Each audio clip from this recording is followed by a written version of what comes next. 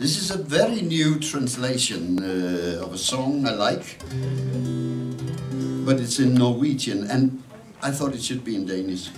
So now I try it in Danish. The wrong chord.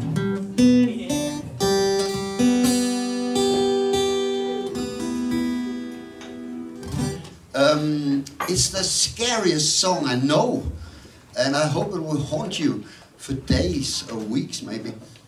Um, and you shouldn't give everything away before you sing it, but uh, you don't understand it anyway in Danish. So um, this is about a ghost coming back to, well, to meet an old drinking companion and uh, take her to a, I guess, better place, and even anyway a more quiet place. And she was uh, actually she was called Siv, but I, I have a problem saying that name, so I, I, I changed her name until till uh, till uh, Liv, Liv, which means life, and that's great because this is a song about death, and I think Freud could get got something out of this. Now I sing it.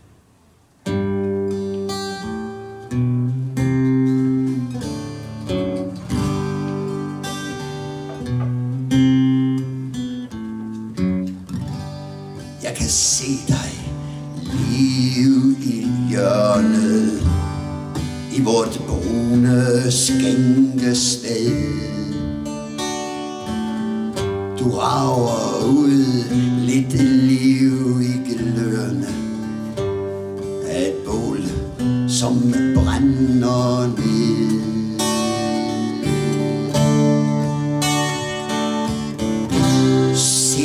dig for mit indre øje.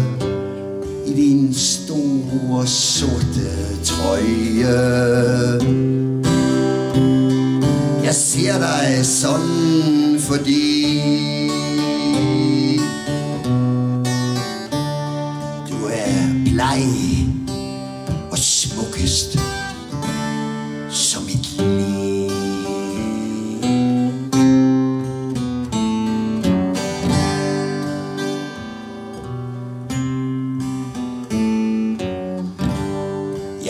kan se dig liv med hånden foldet om et gylden glas.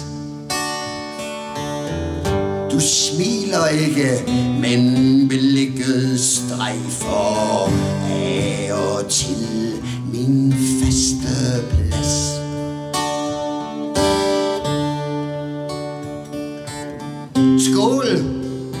Alt vi sagde og gjorde.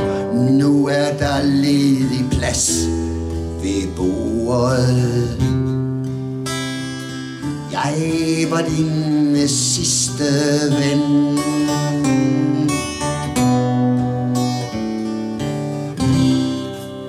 Nu er der bare dig igen.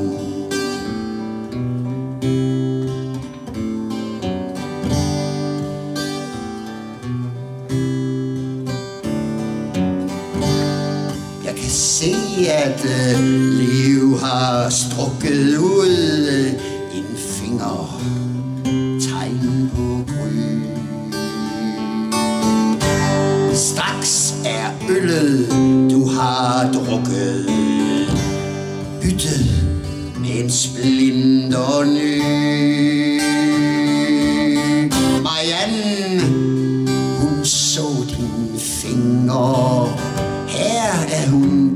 Der øllet bringer.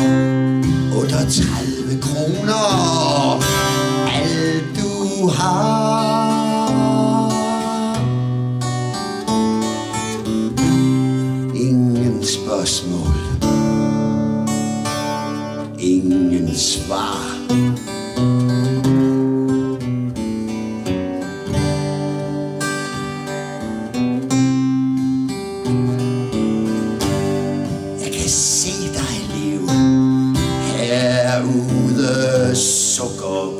byen tavs og midt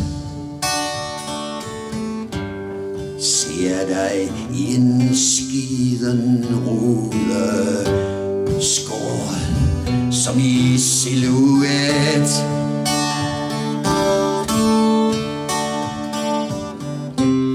Løfter glasset, lærer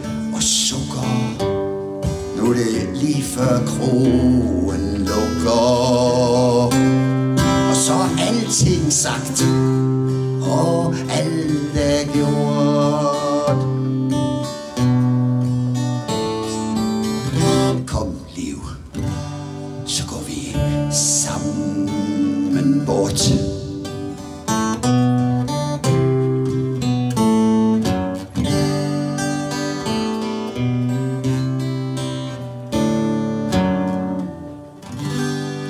Jeg glemte at sige noget vigtigt.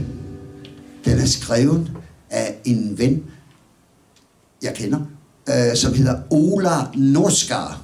Og hvis I møder ham, så bliver I slået helt om kul, men, men han kommer sgu ikke så meget. Men det var ham.